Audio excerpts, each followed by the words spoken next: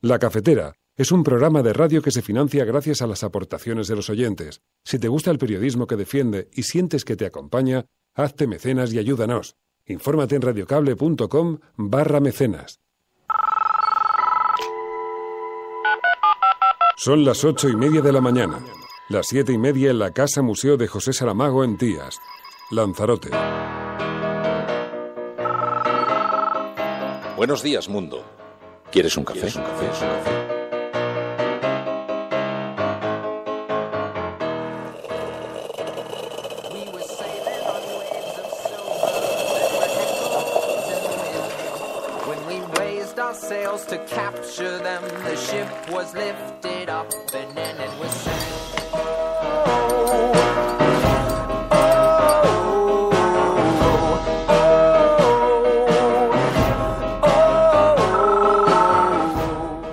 La cafetera. Dirige Fernando Berlín. Todo el fin de semana de aquí para allá y intentando llegar a un acuerdo que al final eh, ha, ha sido posible con la intervención tanto del presidente del Partido Nacionalista Vasco como del presidente del Gobierno. Básicamente creemos que estamos satisfechos porque Ciudadanos ha conseguido, a través del trabajo y a través de la negociación, que haya unos presupuestos en este país y que estos presupuestos signifiquen un cambio de rumbo. Hay muchas cosas que nos preocupan en España, eh, que nos preocupan en toda Europa. Que nos preocupa la corrupción, nos preocupa la crisis económica, nos preocupa cómo se sale eh, de una crisis económica como la que hemos vivido, nos preocupa el terrorismo, nos preocupa el, cambio climático, nos preocupa las posiciones antieuropeístas, nos preocupa el proteccionismo, nos preocupan los populismos totalitarios. Tengo que iniciar el debate sobre los ingresos y los gastos públicos, esto es, sobre el destino de los recursos públicos, enmarcando mi intervención en la indignación y la vergüenza de los españoles ante el penúltimo caso de corrupción que afecta al Partido Popular, al partido del Gobierno, a alguno de sus ministros y altos cargos. Y la razón es que la política económica y presupuestaria de un Gobierno se basa, entre otras circunstancias, en la confianza y la credibilidad del mismo, señor Montoro. Y hoy, a este debate, el Gobierno viene con una credibilidad bajo mínimos. El Gobierno está haciendo que funcionen las instituciones el Gobierno eh, confía en la justicia, en la actuación independiente de todas las instituciones que luchan contra la corrupción. Lo importante son los objetivos. ¿no? Eh, yo ya dije al principio de esta legislatura que lo que íbamos a pretender estos cuatro años era continuar con el crecimiento económico y el empleo. Esto se está produciendo y este presupuesto para lo que sirve es para que haya más crecimiento económico, somos los que más crecemos de Europa, para que continúe el empleo. Vamos a ver los datos de este último mes de abril, pero creo que estamos yendo por el buen camino y todo eso pues da lugar, como dijo el ministro también en su intervención, a un aumento importante de la recaudación, lo cual nos permite dedicar más dinero a pensiones, sanidad y educación hablaba de esa propuesta como una propuesta que supone una borrachera de gasto público. Miren, para borrachera la que se ha pegado el Partido Popular con la corrupción en nuestro país. Menos llevarse el dinero a Suiza, menos invertir dinero en Suiza y más invertirlo en España y más invertirlo en los ciudadanos y las ciudadanas de nuestro país, que son los que han sufrido y los que han llevado a sus, a sus espaldas el peso de la crisis y el peso de las políticas de austeridad y el peso de las políticas de ensañamiento del Partido, del partido Popular.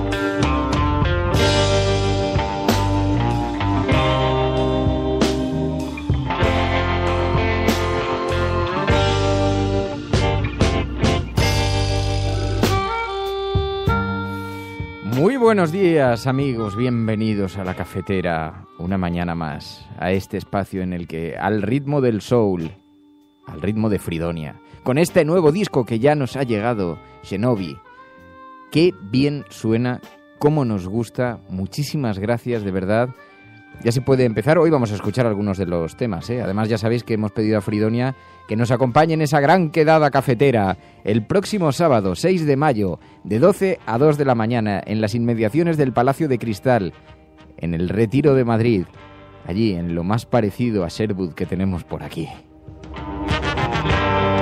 Y allí estará Fridonia también, que nos acompañarán, entre otros amigos, Leo Basi, que se, que se vendrá nos ha prometido que como Papa de la Iglesia Patológica va a santificar este gran encuentro de la Iglesia Católica, que va a santificar este encuentro entre los oyentes del programa La Cafetera y, y quienes hacemos este mismo asunto. Bueno, muchísimas gracias a todos, bienvenidos una mañana más a este programa en el que tratamos de analizar qué es lo que le está ocurriendo a, nuestro pequeño mundo. Pero claro, además de constituirse en un programa informativo, es verdad que aquí también ha crecido una gran familia, una gran familia de oyentes y de personas que se aproximan por las mañanas a este, a este espacio, constituyendo una gran asamblea también de debate, un gran espacio de debate político, donde reflexionamos sobre el mundo, los cambios tan profundos que está viviendo este planeta y las consecuencias políticas que tiene eso y las consecuencias para la gente.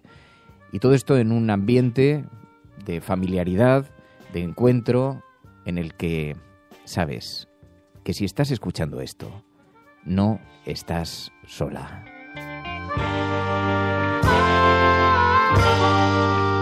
Dice Marian, qué envidia me dais. Bueno, hay mucha gente que se está organizando para venir en grupos.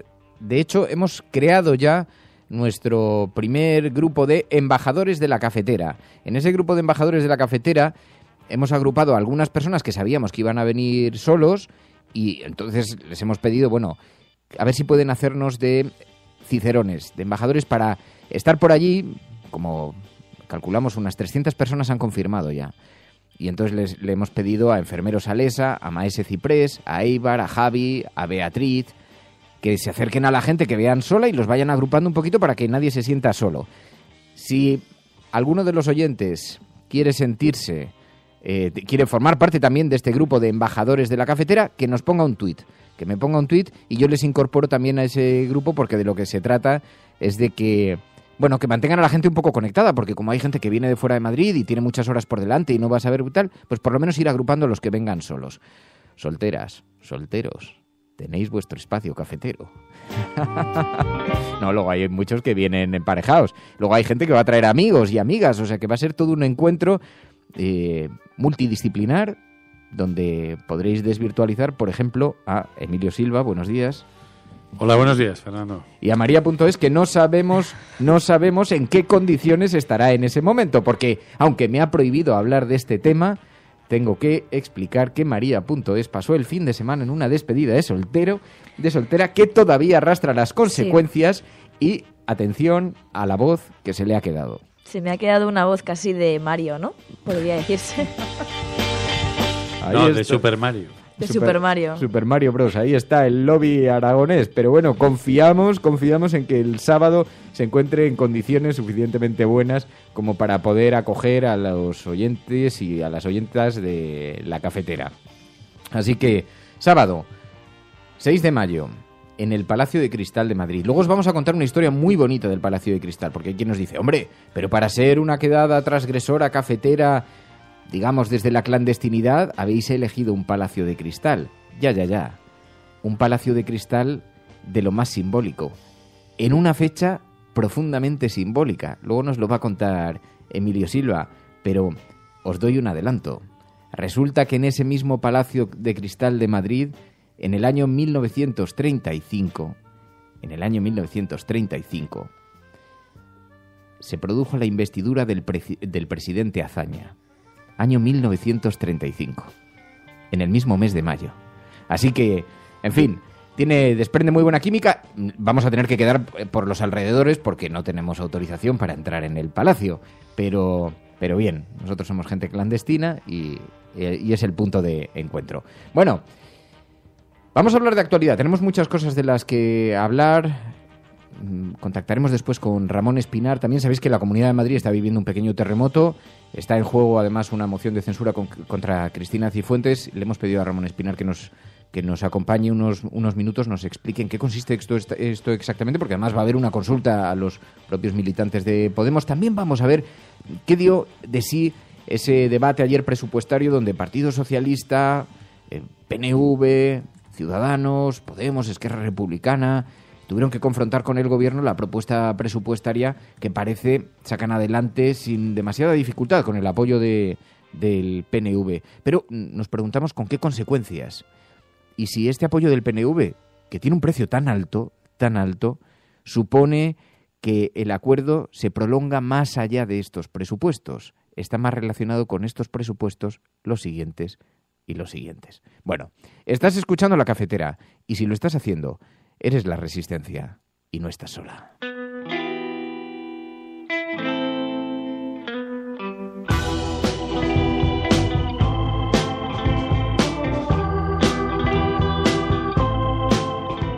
Aquí están los Fridonia, que tanto nos gustan, Fridonia Soul, con este nuevo trabajo, Shenobi, que por cierto, no me resisto a decirlo, el disco se va a presentar en la sala Joy Slava en Madrid el viernes 2 de junio y el sábado 3 de junio. Hay venta anticipada de entradas 2 de junio, 3 de junio. Lo digo por si alguien quiere ver a Fridonia en vivo, que es un verdadero espectáculo. Estos, ya sabéis, que ponen la banda sonora del, del programa que tienen un estilo de música que sintoniza tan bien con nuestra, con nuestra filosofía y que además tienen una filosofía de, de creación que nos gusta mucho, Creative Commons, abierta al crowdfunding, han conseguido sacar adelante este trabajo, este nuevo trabajo, gracias a un crowdfunding en el que han participado muchos oyentes de la cafetera. Así que sentimos que hay una conexión, que hay una simbiosis entre Fridonia, con ese aspecto además tan revolucionario, en la búsqueda siempre de los espacios de libertad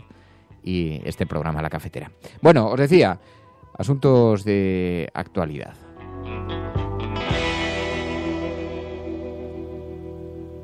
Tu colaboración es importante. Ayúdanos retuiteando la dirección de este programa. Hagamos que se nos oiga. Hagamos que se nos conozca. radiocable.com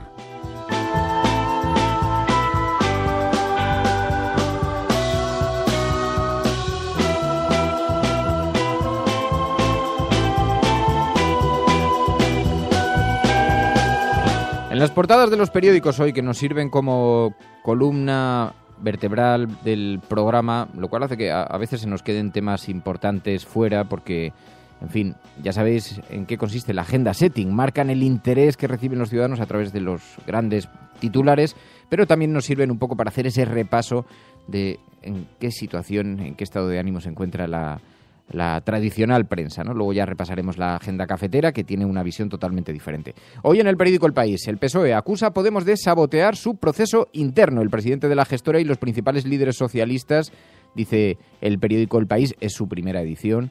Dice, y los principales líderes socialistas condenan la injerencia de Iglesias. Sabéis que como sea, eh, Podemos ha convocado una manifestación para el día 20 de mayo para que la gente apoye esa moción de censura, una concentración para que la gente apoye esa moción de censura que han propuesto al gobierno de Mariano Rajoy, pues los socialistas se han mostrado muy irritados, especialmente el presidente de la gestora, muy irritados porque se da la circunstancia de que ha sido convocada exactamente el día antes, el día antes de que se celebren las primarias del Partido Socialista.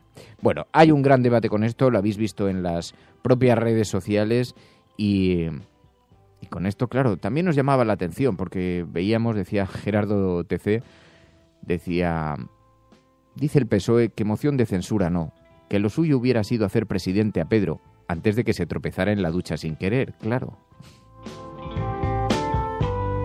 Pero lo cierto es que es, es verdad que el Partido Socialista se ha irritado mucho con esta propuesta de Podemos, con esta irrupción de Podemos en esa concentración convocada para el día antes de las primarias del Partido Socialista, que sigue debatiéndose.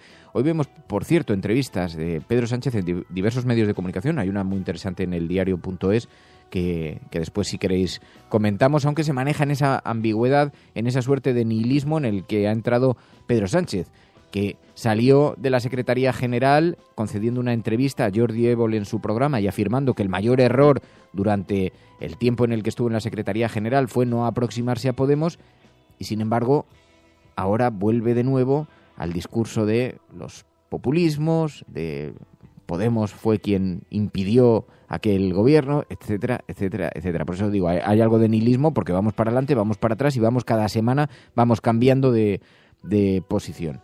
Así, bueno, el debate está cada vez más intenso en el Partido Socialista, aunque han encontrado un enemigo externo que les viene muy bien y que además tiene una justificación, ya lo conté aquí, tiene una justificación eh, táctica. El Partido Socialista ha descubierto que a los militantes del PSOE les molesta más Pablo Iglesias que las que los que se presentan a las a las primarias. Así que todo el debate se va derivando sistemáticamente hacia hacia Podemos, ¿no?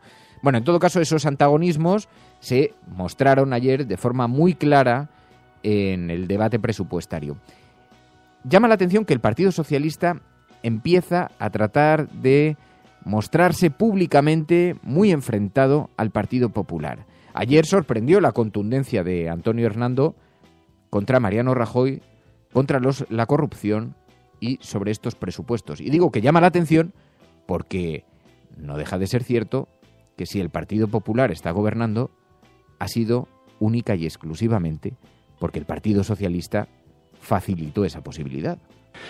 Tengo que iniciar el debate sobre los ingresos y los gastos públicos, esto es, sobre el destino de los recursos públicos, enmarcando mi intervención en la indignación y la vergüenza de los españoles ante el penúltimo caso de corrupción que afecta al Partido Popular, al partido del Gobierno, a alguno de sus ministros y altos cargos. Y la razón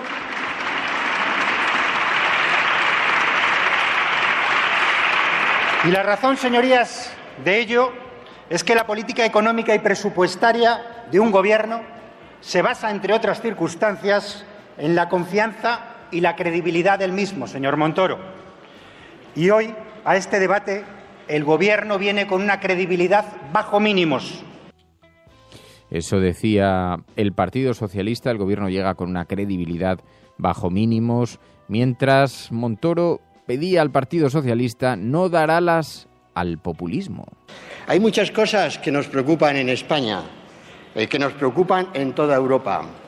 Nos preocupa la corrupción, nos preocupa la crisis económica, nos preocupa cómo se sale eh, de una crisis económica como la que hemos vivido, nos preocupa el terrorismo, nos preocupa el, el cambio climático, nos preocupa las posiciones antieuropeístas, nos preocupa el proteccionismo, nos preocupan los populismos totalitarios, nos, preocupan muchas cosas, muchas cosas, señor Hernando. Y esas cosas eh, son más de preocupación común que de enfrentamiento. Son eh, motivo para tener encuentros y no disentimientos. El Gobierno está haciendo que funcionen las instituciones. El Gobierno eh, confía en la justicia en la actuación independiente de todas las instituciones que luchan contra la corrupción. María. Se supone que populismo también sería decir que no vas a subir los impuestos y que los, de hecho los vas a bajar y al final los subes. Tendríamos que ver qué es populismo en ese caso. Tendríamos que ver también qué es para el Partido Socialista tener un discurso eh, pues que tenga vigencia en la hemeroteca y que lo sigan defendiendo. En realidad, en el momento en que le han dado el gobierno al Partido Popular, ellos pueden decir que luchan contra la corrupción y contra muchísimas cosas, pero eh, el, haber, el haberse abstenido y el haber permitido un gobierno del Partido Popular te quita toda credibilidad ahora mismo. Y hasta yo creo que hasta que no acaben con ese gobierno no podrán recuperar esa misma credibilidad. Bueno, porque además eh, Montoro anunciaba que en estos nuevos presupuestos, los presupuestos más sociales, una borrachera de, generosidad, decían desde el gobierno, desde el ministerio, pero la realidad es que también está el plan de estabilidad enviado a Bruselas, que esconde nuevos recortes en educación y en sanidad.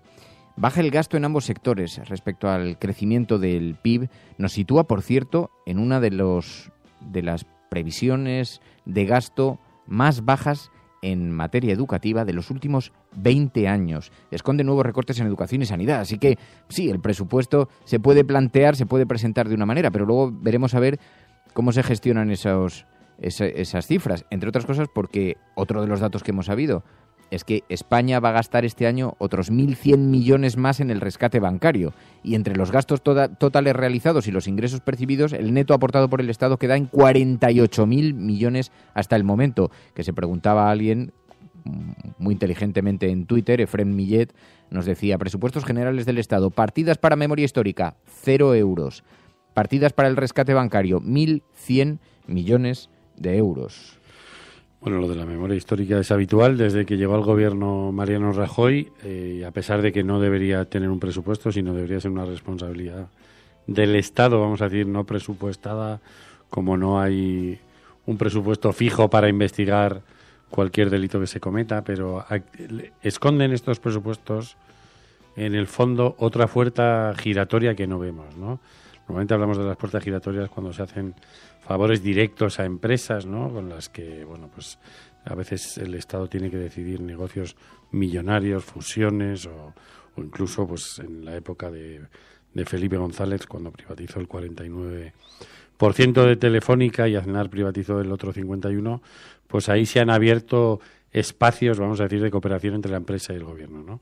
Pero España sigue teniendo una bajísima presión fiscal eh, si la media de los países europeos es tener o que el Estado y todas sus instituciones manejen alrededor del 45% del Producto Interior Bruto, en España todavía estamos un 6% por debajo de esa media.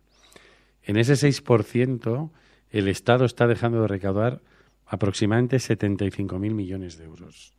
75.000 millones de euros que en general no se quedan en manos de los contribuyentes, se quedan en manos de los grandes contribuyentes, ¿no?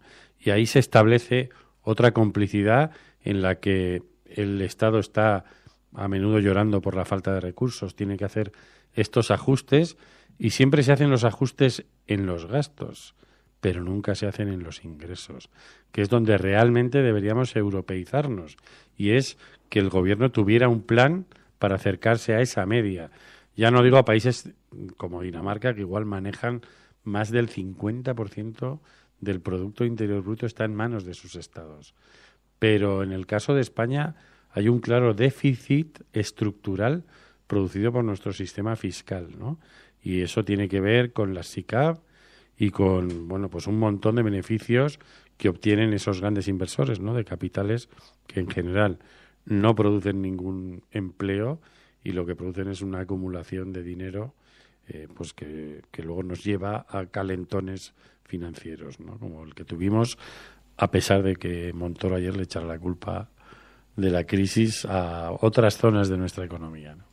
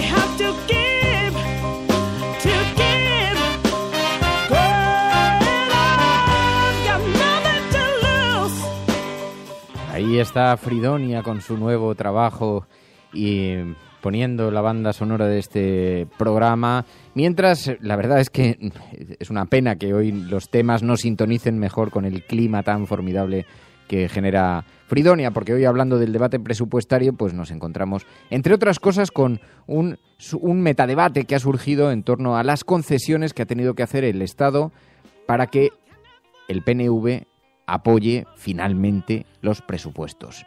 Cinco votos que valen 4.000 millones. Debate presupuestario, dice la ABC. A cambio de salvar hoy las cuentas del Estado, el PNV arranca del Gobierno una importante rebaja del cupo vasco, inversiones en obra pública y la clarificación de competencias en conflicto. Un acuerdo que se estuvo cerrando a lo largo de los últimos días con llamadas cruzadas, así lo contaba Josu Ercoreca desde el Gobierno vasco y que efectivamente va a suponer ampliar esas enormes transferencias que, por cierto, nos preguntaban, el cupo vasco, ¿qué es el cupo vasco? Porque tiene, tiene en fin, hay, hay gente que decía, no dejamos de escuchar, ¿qué es el, eh, sobre el cupo vasco? Bueno, este es un acuerdo que es clave para los presupuestos, entre otras cosas porque es un concierto económico que procede del siglo XIX, está reconocido en la Constitución española y que, digamos que es un acuerdo que regula cuáles son las relaciones fiscales entre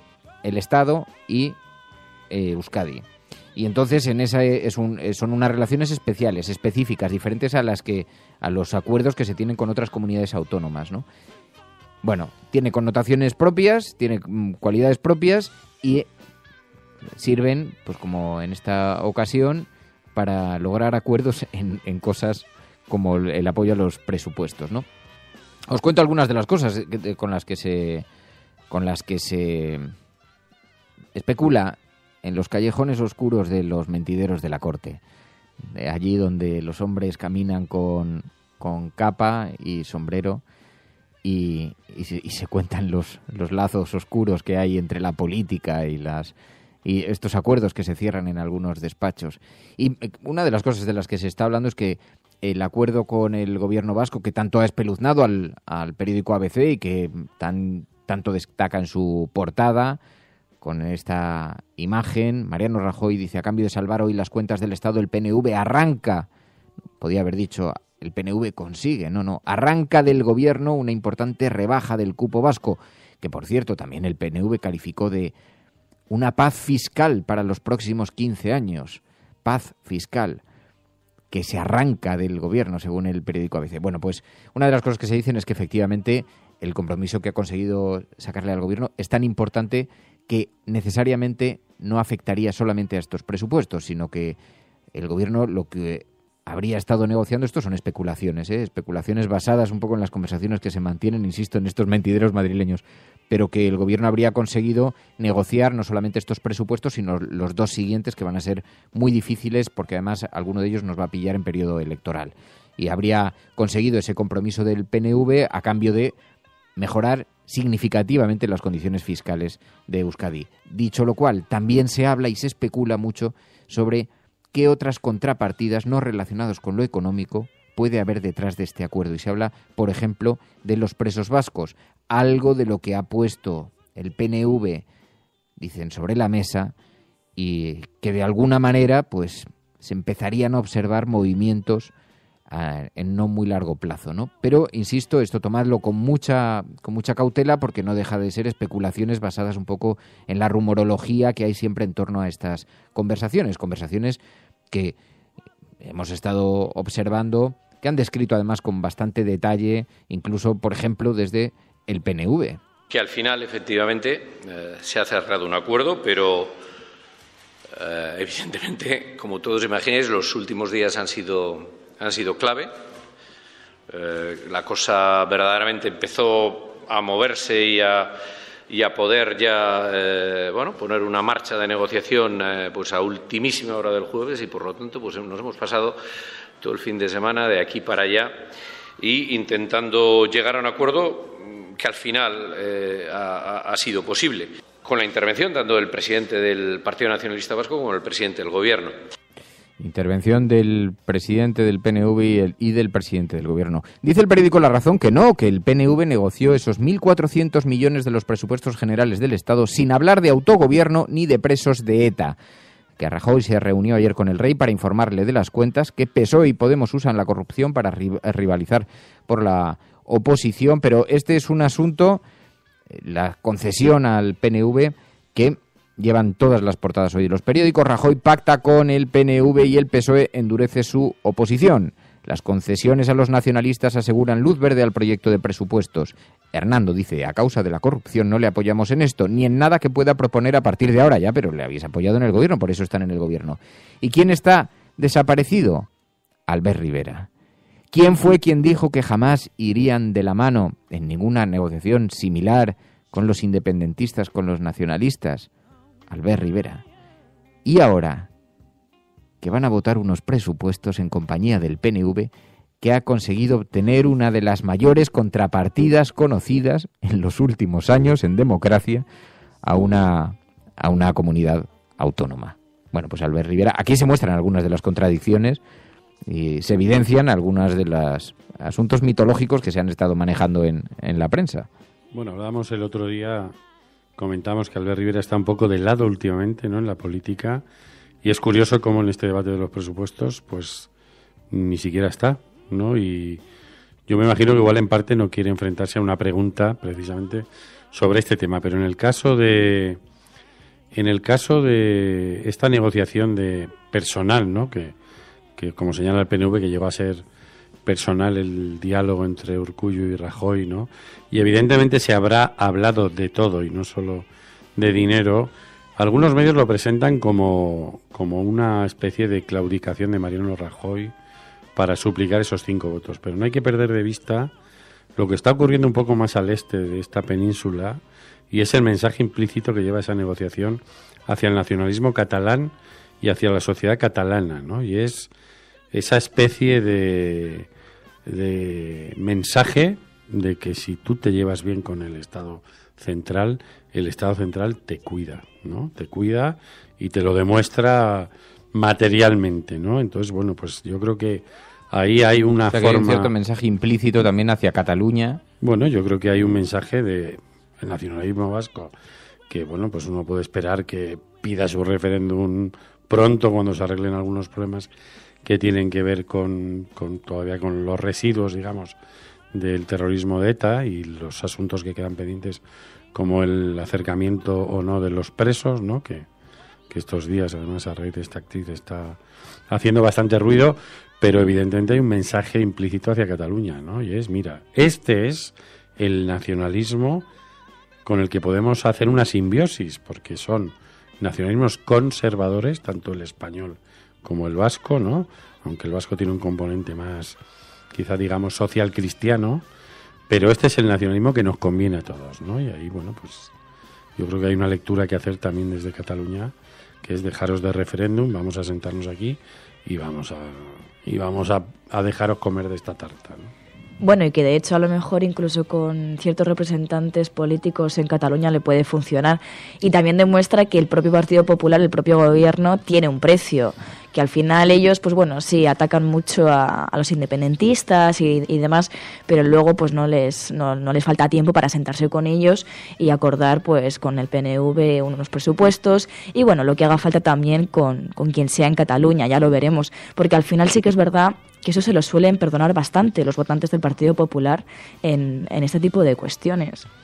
Y no, hay que, uy, no hay que olvidar que no, los grandes apoyos de Aznar en su primera legislatura, cuando estuvo eh, po- 400.000 votos por encima del PSOE y necesitaba apoyos parlamentarios, pues llegaron de Cataluña y del País Vasco, ¿no? Incluso, pues ese fue el momento en el que el gobierno de Aznar y luego fue negado por, por él mismo, por Jaime Mayor Oreja, eh, trasladó a la península algunos presos de ETA desde Canarias, hizo un desplazamiento, un acercamiento, creo que fueron 174 presos de ETA, ¿no? Y eso formaba parte, y es la demostración de que en estos acuerdos se habla de todo, uno no habla solo de dinero, porque a veces hay que desatascar otras cosas, ¿no? Y Mira, es interesante hoy la interpretación que da la prensa catalana, precisamente. Dice, el País Vasco arranca un trato millonario por el apoyo al PP. El gobierno devolverá 1.400 millones, rebajará el cupo en 500 cada año. El pacto para el presupuesto incluye el AVE y un plan industrial. ¿no? Este arranca también tiene una connotación que hay una, ese paralelismo al que te, te referías antes. es- Encuentran ahí esa, esa conexión. ¿no? Pero es verdad, eh, una de las mayores transferencias que se han vivido en la democracia española la efectuó el señor José María Aznar hacia Cataluña, precisamente cuando buscaba los, los apoyos, ¿no? Y después vimos políticas de aproximación de presos. Por eso, la tesis que maneja el periódico La Razón, vamos a guardar esta portada, porque empezaremos a ver movimientos de presos más tarde o más temprano. Esto va a suceder, es algo además que lleva mucho tiempo reclamando y que más tarde o más temprano empezará, empezará a visualizarse, ¿no? Y que tendrá que ver, pues, probablemente en algún periodo eh, vacacional, ¿no? Lo veremos en verano o, bueno.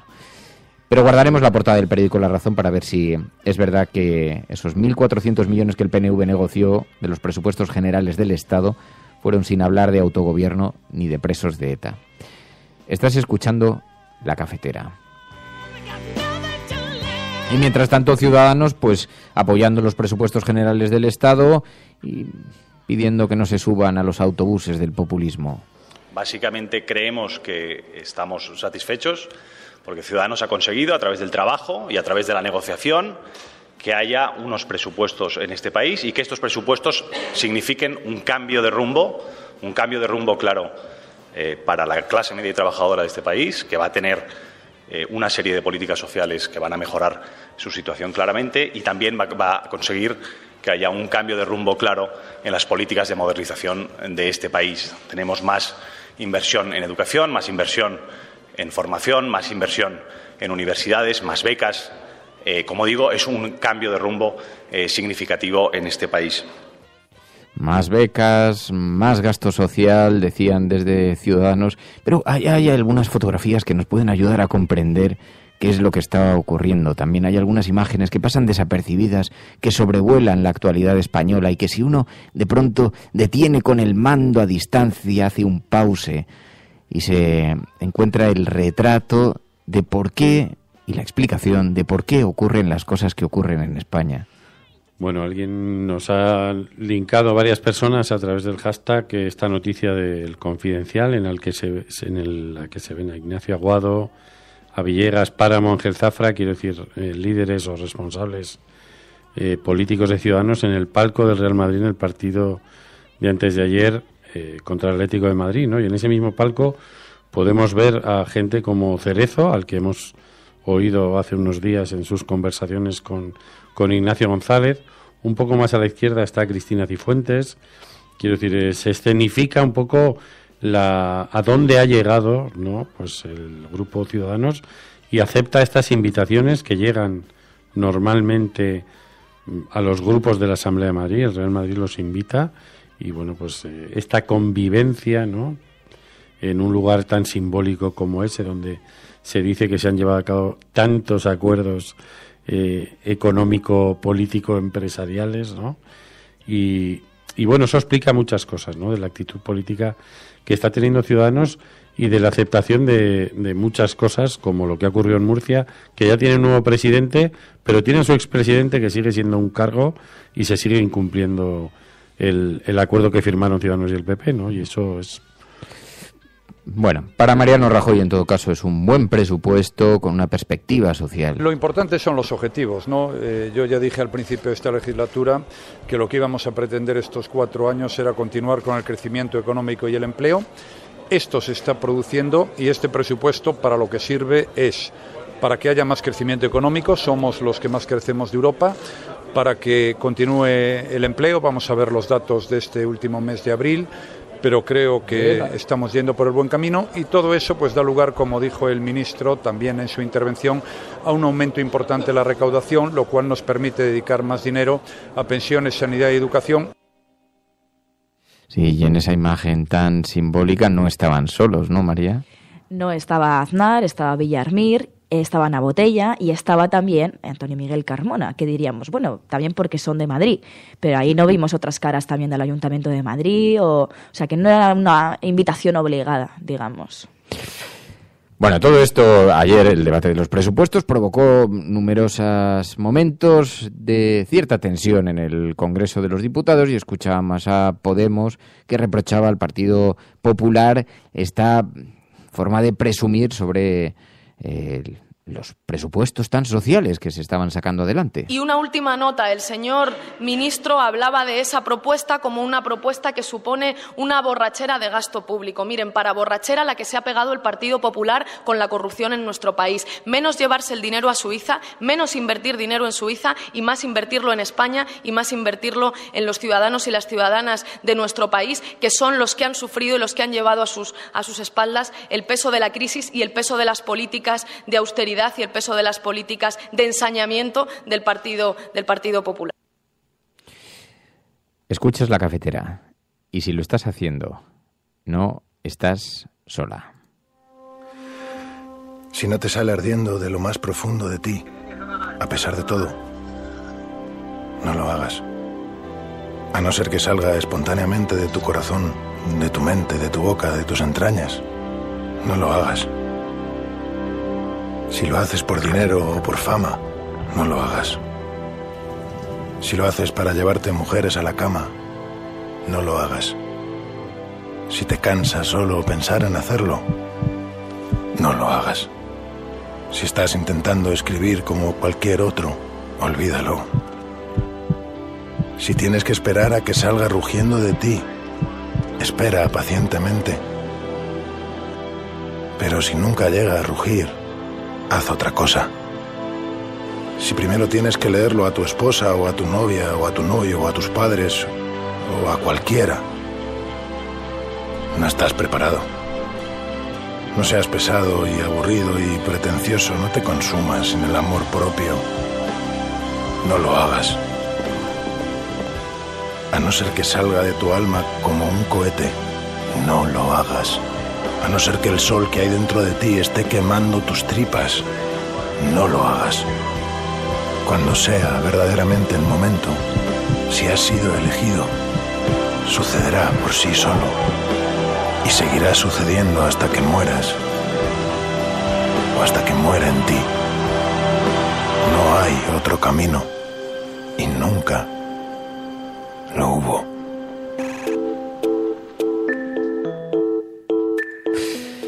Bueno, y mientras los casos de corrupción están golpeando a la Comunidad de Madrid, al Partido Popular en la Comunidad de Madrid, hemos visto cómo se presentaba, cómo la prensa presentaba como la regeneradora a Cristina Cifuentes, pero paralelamente se están produciendo movimientos políticos de discrepancia política.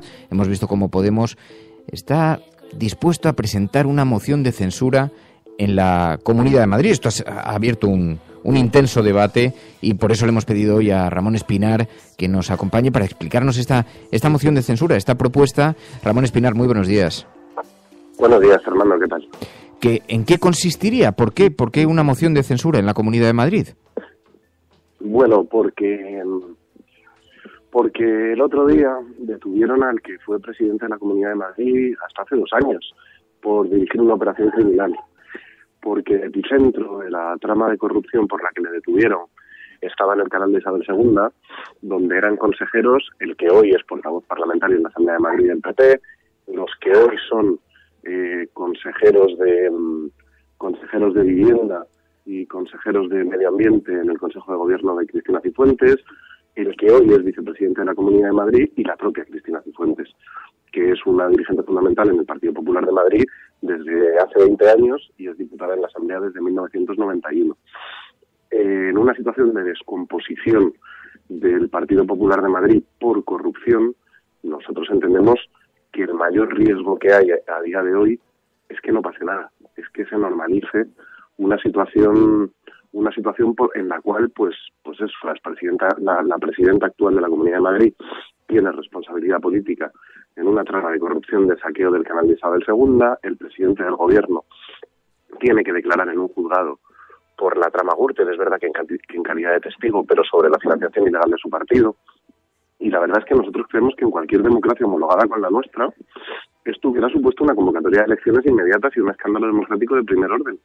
Y da la sensación de que en España eh, y en la Comunidad de Madrid pues hay una coalición de intereses en torno a Cristina Cifuentes que está empeñada en que la, la huida hacia adelante de, de Cifuentes le salga bien y que no pase absolutamente nada. Nosotros, más allá de las diferencias ideológicas, creemos que hay que presentar una moción de censura por dignidad democrática. ¿Con qué candidato se presentaría esa moción de censura? Bueno, vamos a respetar las fases. Ahora, em, me vas a dejar que, que meta que meta el que meta la cuña. Desde desde ayer a las 10 de la mañana en participa.podemos.info está votando la gente. La gente está decidiendo si quiere que impulsemos o no una moción de censura contra Cristina Cifuentes en la Comunidad de Madrid. Esta votación va a permanecer abierta hasta el domingo, es decir, desde el día 2 hasta el día 7 de mayo, y ahí es donde nosotros le vamos a preguntar a los inscritos, a nuestras bases, quieren que llevemos adelante esta moción de censura. Una vez que los inscritos nos digan si quieren o no que llevemos adelante esta moción de censura, yo, la verdad es que sería una sorpresa que nos dijeran que no. Una vez que nos digan si quieren que la llevemos adelante, iniciaremos una ronda de contactos con Ciudadanos y con el Partido Socialista, que son los otros dos grupos eh, parlamentarios en la Asamblea de Madrid con los que con los que darían los números para una moción de censura. Es verdad que Ciudadanos ya ha manifestado que no está por la labor y que el Partido Socialista pues pues depende del día y depende con quién se hable, ¿no? Babilondo dice una cosa, Fernández otra, la gestora otra, pero bueno, vamos a ver cómo se posicionan Partido Socialista y Ciudadanos y después, una vez hablemos con ellos y veamos cuál es la viabilidad de la moción de censura o su no viabilidad, decidiremos decidiremos qué hacemos paso a paso. Sí, te lo digo porque aquí en este mismo programa Ángel Gabilondo sí se mostró partidario de buscar puntos de encuentro para sacar al Partido Popular de la Comunidad de Madrid. Eh, ¿Sería posible, estaría Podemos dispuesto a apoyar a Ángel Gabilondo como presidente de la Comunidad de Madrid? A ver, nosotros primero vamos a poner toda la carne en el asador para, para desalojar a Cristina Cifuentes de la Puerta del Sol. Nos parece que no tiene legitimidad democrática para seguir siendo presidenta de la Comunidad de Madrid, eso primero.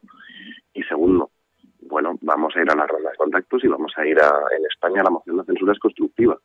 Tú no puedes impugnar a, a la presidenta de la Comunidad de Madrid sin proponer un candidato alternativo para ver quién es el candidato alternativo y cómo se articula una propuesta de gobierno viable, va a haber que hablar mucho, va a haber que hablar mucho, pero vamos, desde luego, nosotros, como todo el mundo sabe, pues si hay una mayoría progresista en la Asamblea de Madrid, no vamos a dejar pasar la oportunidad de que el PP, después de décadas de saqueo, deje de gobernar.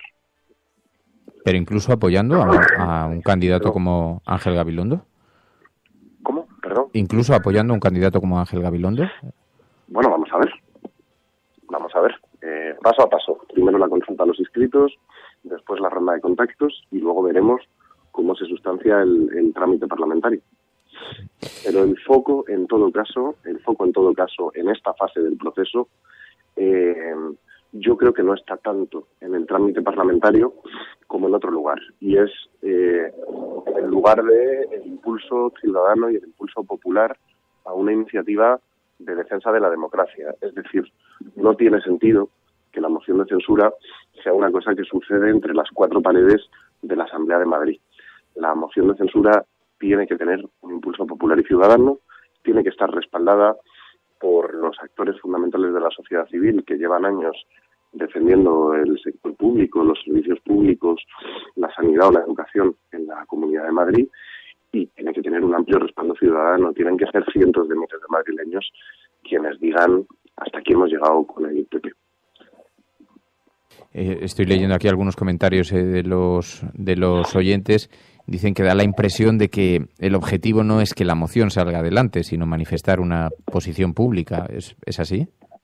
Bueno, el problema que tenemos es que si Ciudadanos se va a mantener, pase lo que pase, eh, en el apoyo a Cristina Cifuentes, los números no van a dar. Lo que pasa es que esto no es una cuestión solo de números, es un imperativo moral y ético desalojar al PP de Madrid de la sede de la Puerta del Sol por, por dos razones. La primera porque porque Cristina Cifuentes no, no gobierna y eso lo puede ver cualquiera. Cristina Cifuentes ha heredado una estructura de gobierno de, Ignacio González y de Esperanza Aguirre y no hay una sola reforma que cuando alguien piensa en Cristina Cifuentes eh, le pueda atribuir. Es decir, normalmente a los gobernantes se les recuerda por las cosas que han hecho, no sé, ¿no? A Zapatero se les recuerda para mal por la reforma laboral y para bien por la ley de matrimonio homosexual. A Esperanza Aguirre se la recuerda por su apuesta por la escuela pública bilingüe y por la ampliación del metro de Madrid. No sé, a los gobernantes se les suele recordar por alguna medida que han tomado. Cristina Cifuentes no ha tomado ninguna. Simplemente ha heredado la estructura de Ignacio González y de Cristina y de, y de Esperanza Aguirre. Tal las ha heredado que ha heredado también la, la estrategia política ante la corrupción. Allí donde Esperanza Aguirre decía yo destapé la trama Gürtel, hoy Cristina Cifuentes dice yo destapé la trama del canal de Isabel II. Bueno, pues, pues digamos que eso remite a, a un impulso de alguien que sí tenga un proyecto para la Comunidad de Madrid, que sí tenga un proyecto de región y que sí tenga un proyecto de transformación y de modernidad que le dé un cierto orden y un cierto sentido a la administración pública fundamental que es la Comunidad de Madrid para los madrileños y las madrileñas. Y luego el segundo elemento que tiene que ver con que quién nos garantiza a día de hoy, si estamos conociendo los casos de corrupción del PP de hace 10, 5, 3 y 2 años, quién nos garantiza que no sigue pasando. ¿Quién nos garantiza que el PP no sigue saqueando el dinero público de todos los madrileños para ponerlo al servicio de su propio beneficio y el de algunos poderosos que se han comprado el Partido Popular con financiación ilegal y que, y que las instituciones en la Comunidad de Madrid están al servicio del interés general. Yo creo que solo esa sombra de duda convierte en un imperativo ético y moral eh, una moción censura a Cristina Cifuentes.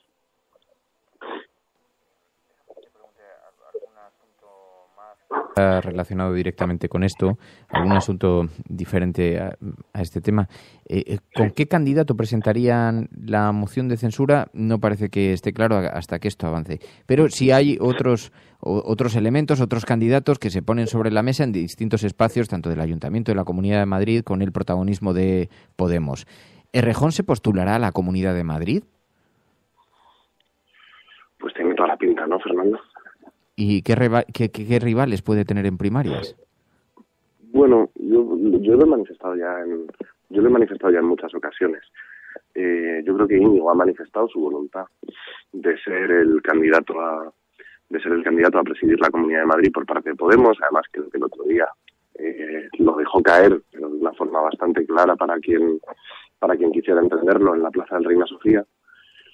Bueno, yo creo que si Íñigo quiere ser candidato a la presidencia de la Comunidad de Madrid, eh, a mí me parecen dos cosas. La primera que la primera que es un magnífico candidato a la presidencia de la Comunidad de Madrid. Eh, y esto yo creo que lo piensa todo el mundo, ¿no? Que Íñigo Errejón es uno de los principales activos que tiene el cambio político en nuestro país y que es una persona con, con mucha capacidad para suscitar y generar consensos, consensos en torno a sí. Por tanto, es un muy buen candidato para la presidencia de la Comunidad de Madrid. Y dos, si ese es el lugar en el que Íñigo quiere estar, yo creo que eso es muy bueno para Podemos, porque para Podemos es bueno que, que todos los líderes estén, estén a gusto en la posición orgánica y en la posición política en la que, en la que se encuentran, porque eso nos remite a cerrar definitivamente pues algunas de las heridas de, de nuestro proceso interno de Vista Alegre. Y por tanto, si eso garantiza un Podemos pacificado y en disposición de no tener disputas internas, sino tener la disputa fundamental que tenemos con el Partido Popular por gobernar este país, pues también es una muy buena noticia para el cambio político en nuestro país. Concurriendo esas dos, esos dos elementos, pues yo creo que mi papel ahí, eh, como secretario general de Podemos en la Comunidad de Madrid, es partirme el pecho para que Íñigo sea presidente de la Comunidad de Madrid. Eh, Yo creo que, que nosotros no, no, estamos en política no estamos en política para pintar la mona, si me permites la expresión. Nosotros somos activistas, somos militantes del cambio político en nuestro país y nos toca remar para que las cosas vayan lo mejor posible. Eso a veces significa dar pasos al frente y a veces significa dar pasos a un lado y dejar paso a quien, a quien, bueno, pues es mejor para todos y mejor para el colectivo que está en primera línea. Pues Ramón Espinar, muchísimas gracias por atender esta llamada, Ramón. Muy buenos días y mucha suerte. Nada, muchísimas gracias a vosotros. Me voy para la, me voy para la Asamblea de Madrid que hoy presenta Cifuentes sus presupuestos. A ver, a ver qué tal nos va el debate. Un abrazo, adiós. Venga, un abrazo, Fernando.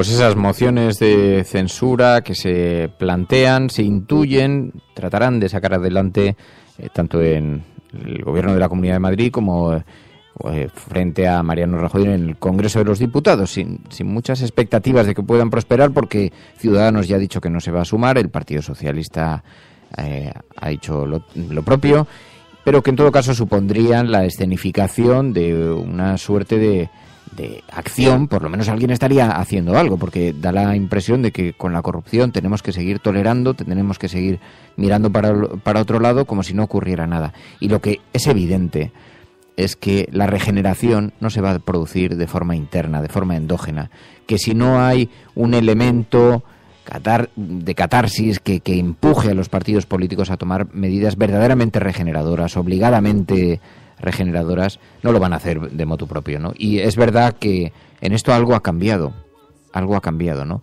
¿Alguien se imagina que todos estos movimientos que se producen, toda esta tensión que se produce en el debate, existiría si no hubiera nacido un partido político como Podemos?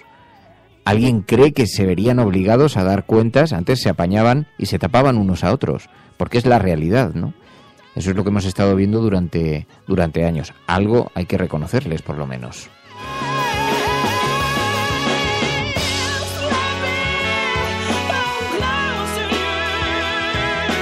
¿No te lo parece, Emilio? A mí me parece bien, me parece bien ¿No te cualquier parece? respuesta que vaya contra, contra la corrupción. Mira, ahora estaba leyendo una noticia de que el juez Velasco también está investigando los grandes contratos del metro, del metro de Madrid, con lo cual...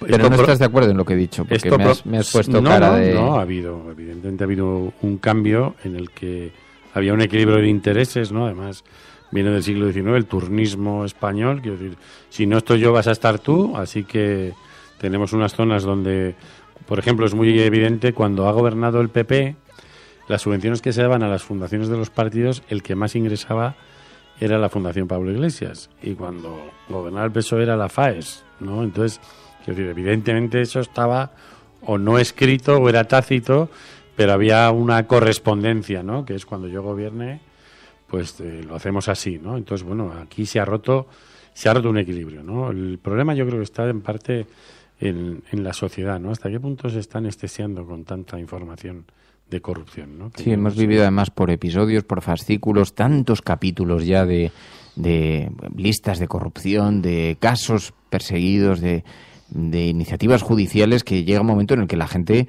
primero termina completamente agotada del discurso de la, de la corrupción y además ha perdido el hilo. Ya no sabe si la operación Lezo forma parte de la operación Pacato o de, o de dónde salen los últimos informes.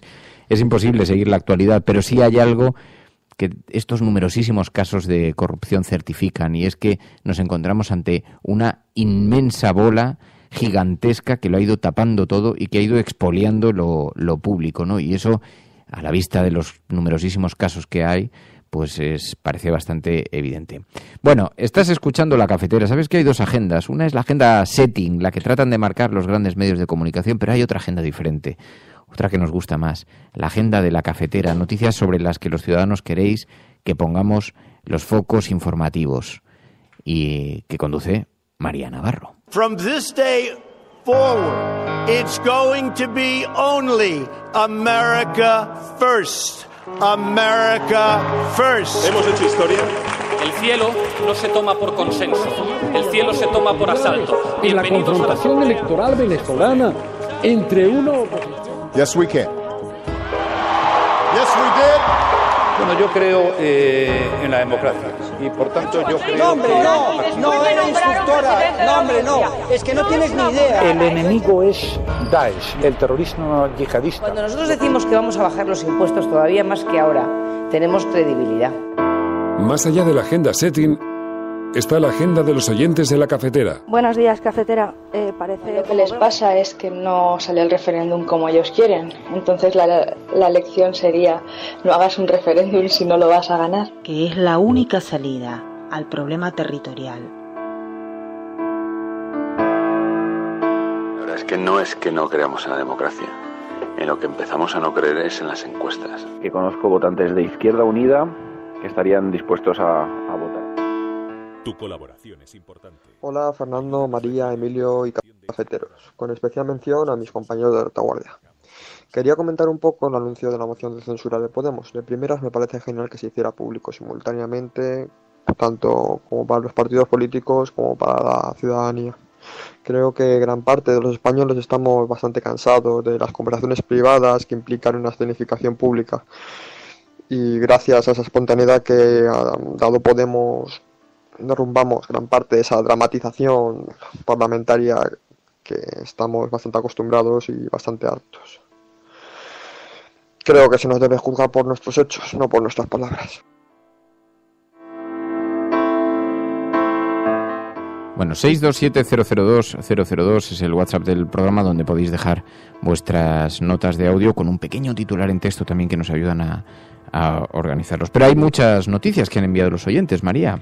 Sí, empezamos con una que varios de vosotros nos habéis enviado a lo, a lo, largo de esta semana y es que los disidentes de Ciudadanos empiezan los movimientos necesarios para crear un nuevo partido político. Entre ellos nos lo enviaba Ángel Trianero y esta información es del diario.es que explica que los disidentes también de otras formaciones tienen en agenda una reunión en Valladolid la primera semana de mayo. En paralelo, dicen, se gesta el partido Unión de Centro Demócrata Independiente con el que prevén concurrir a, las municipales y a las elecciones autonómicas. El partido Albert Rivera se moviliza, dice, para reactivar el pacto antitransfugismo por el castigo que le está suponiendo este fenómeno. Así que veremos en qué queda todo esto de los disidentes de Ciudadanos, que es un nuevo fenómeno. Y nos vamos a otra información que tiene que ver con el Vaticano. Y es que el fin de la protección vaticana permite que media docena de obispos se sienten ante los tribunales españoles. La Santa Sede consiente que se procese a los prelados al no hacer uso de una prerrogativa vigente desde 1976 que avala blindarlos ante la justicia ordinaria.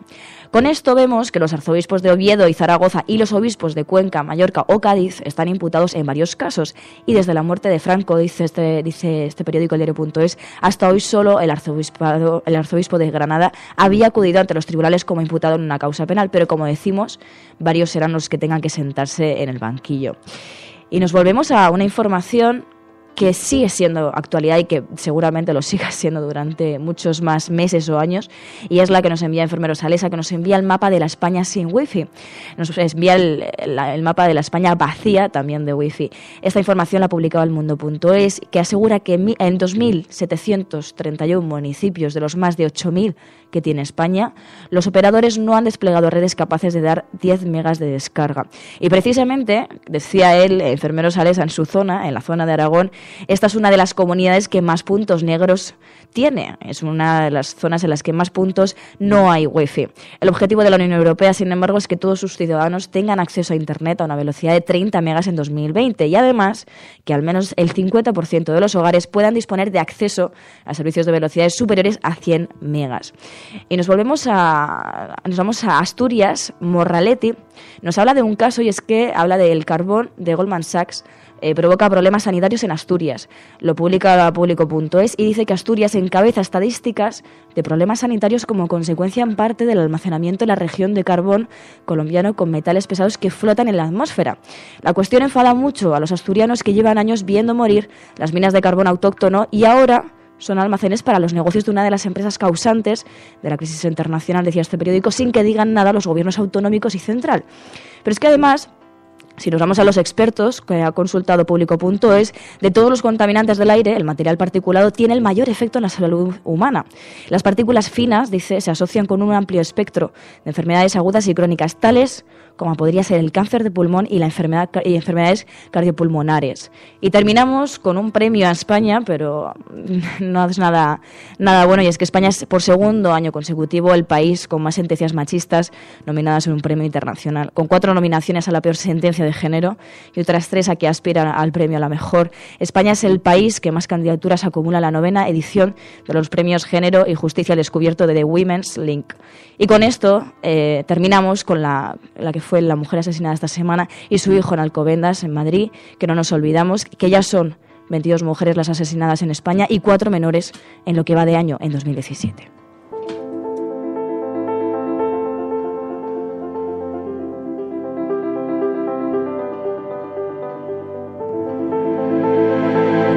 La cafetera, es un programa de radio que se financia gracias a las aportaciones de los oyentes. Si te gusta el periodismo que defiende y sientes que te acompaña, hazte mecenas y ayúdanos.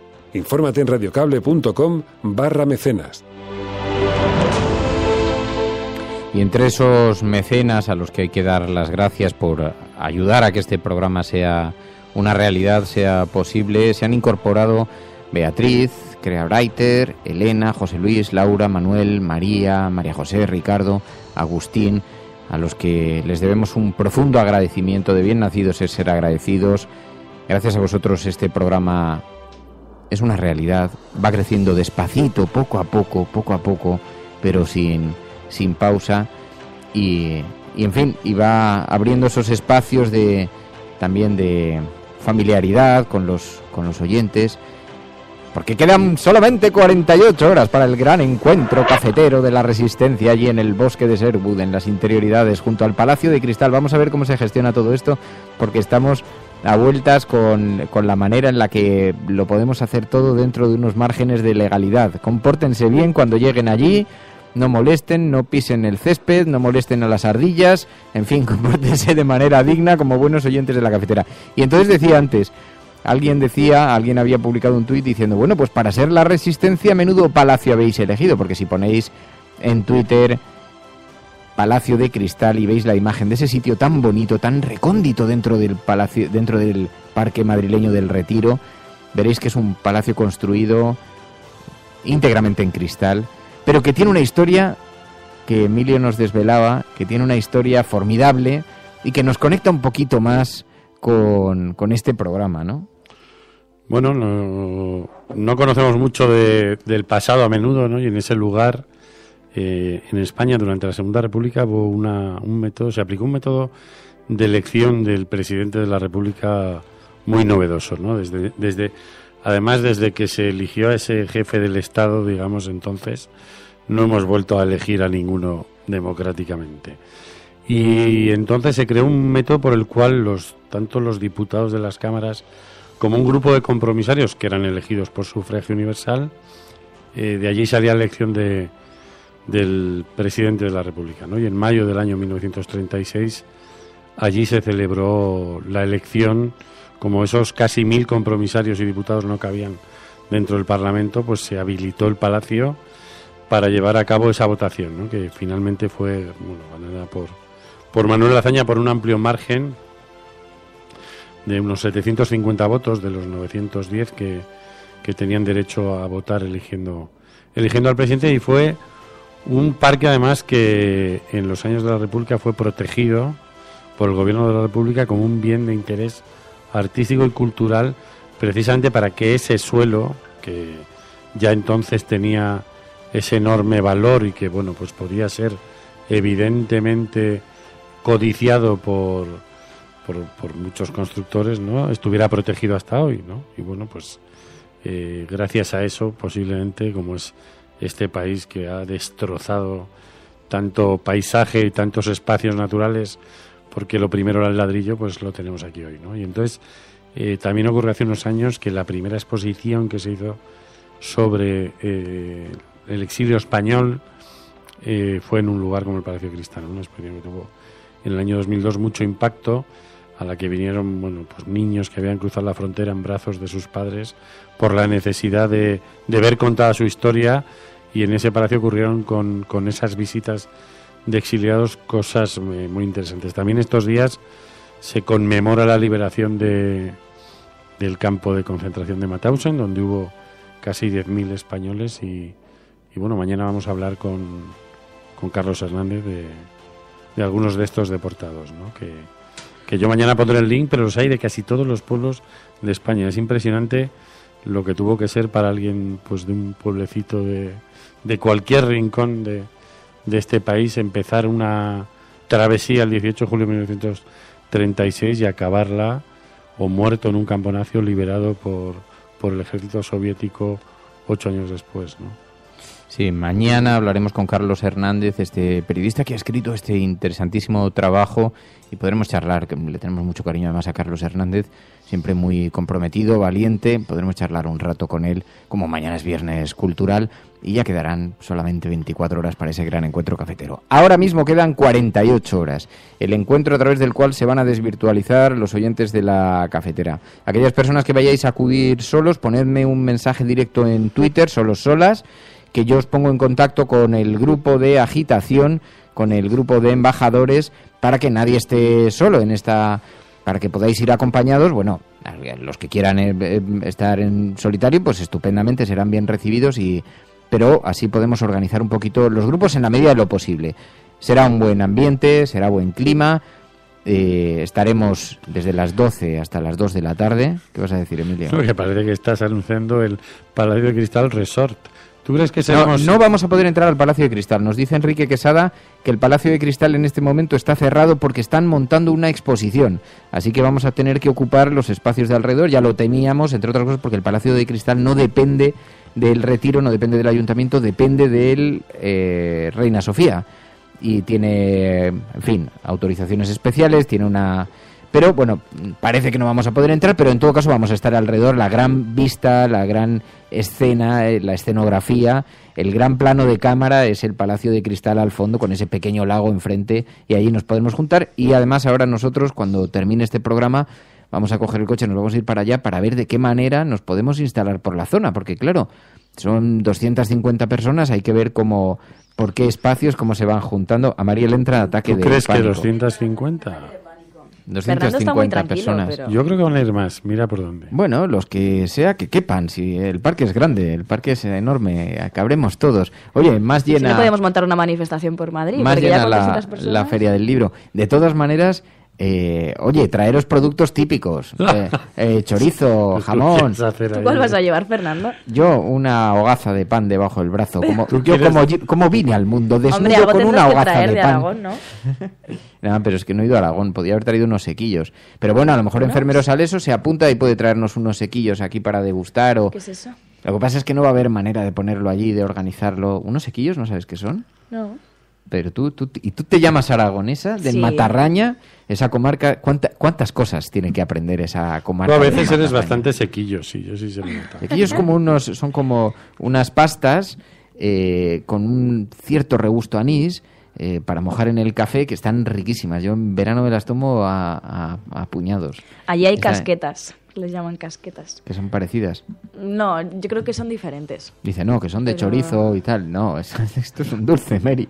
No, esto también es un dulce. Y luego tenemos almendraditos, los almendrados, que son, son como, esos están buenísimos. Yo me- cuando era pequeño me, me hinchaba, que es una especie de merengue seco, pero que dentro tiene almendra, riquísimo, es una cosa buenísima. Y luego el pan de allí, que lo echo tanto de menos, el pan de Castellote. Pero, oye, si venís desde León, ahí pues podéis traer, eh, no sé, cecina leonesa, eh, podéis traer no sé, si venís desde Andalucía, pues podéis traer jamoncitos, si venís, en fin, un poquito de vidilla, le damos vidilla a este encuentro, ¿no? Y a cambio nosotros os permitimos beber agua del canal de Isabel II. ¿no? No, no sé si habrá fuentes ni nada. Pero bueno, hay una terraza que, por cierto, el día que se que se celebró aquella investidura al presidente Azaña en 1935 en el mismo Palacio de Cristal, después la gente se tomaba algo en las terrazas que hay en los alrededores, así que eso será un poco ahí. Nosotros no vamos a poder, eh, es demasiada gente, es muchísima gente y no tenemos una gran planificación sobre lo que va a ocurrir. O sea, el objeto fundamental es ponernos cara es encontrarnos,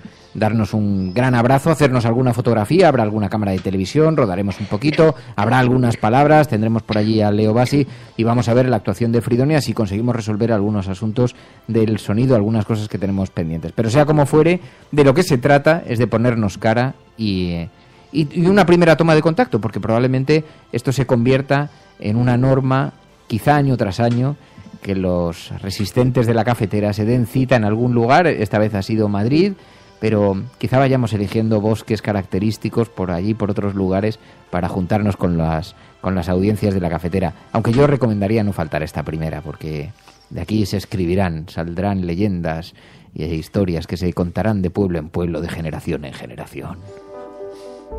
Eh, no desconfíes, Emilio, que a veces las aventuras no esperan después de cada esquina. Yo no soy un escéptico. Detrás de cada árbol te espera una aventura. Son Y hay que aprovechar el tiempo porque es fugaz como las ardillas, que diría el señor Juan Carlos. Sí. Y no sabemos cuánto tiempo vamos a estar en este planeta, así que aceptemos, en fin, disfrutemos de los momentos y aprovechemos. Bueno, pues eso, sábado, 6 de mayo, de 12 a 2 de la mañana. Allí, no, si no te quieres pasar solo, te traes amigos, amigas, y no pasa nada. Cuanto más gente, más divertido, que se incorporen a la familia cafetera. Y nos damos grandes abrazos, nos hacemos muchos selfies y lo pasaremos muy bien. Estás escuchando la cafetera, y si lo estás haciendo, eres la resistencia y no estás sola.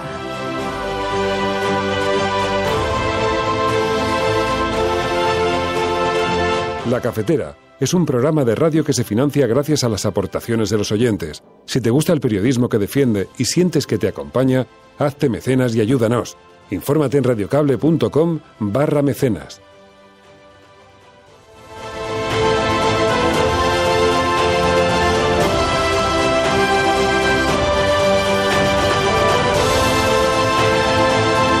Bueno, y cae el sol y a veces se nos olvidan los elementos importantes de la vida, como por ejemplo imaginarte sentado frente al transistor tranquilo en una dulce mañana de jueves y que alguien te diga...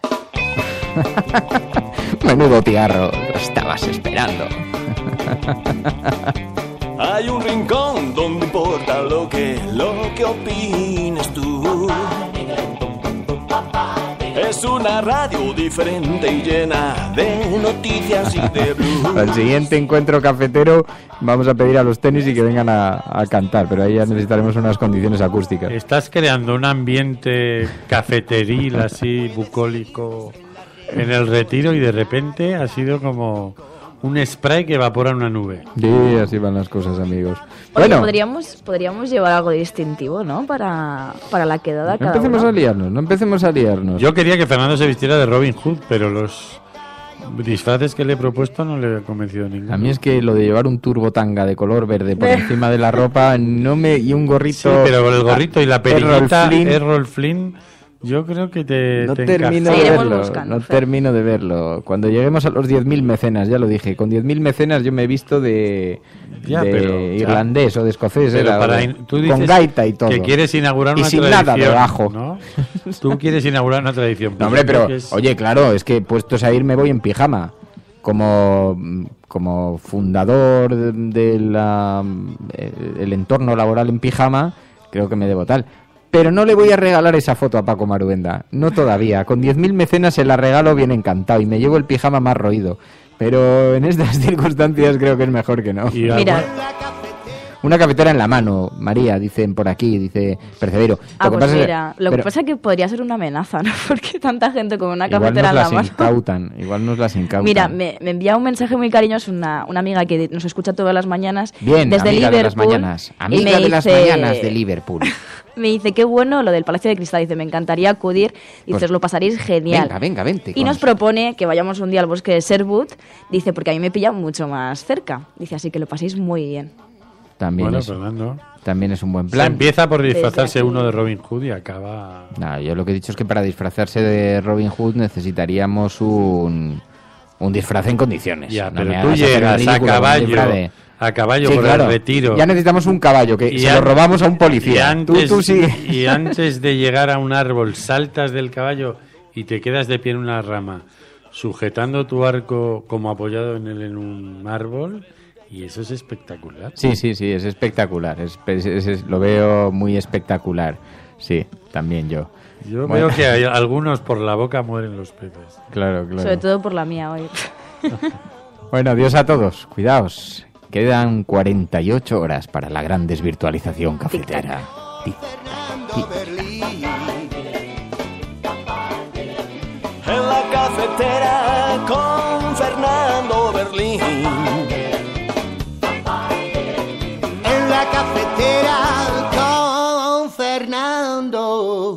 Berlín. Oh yeah, that's rock and roll, man.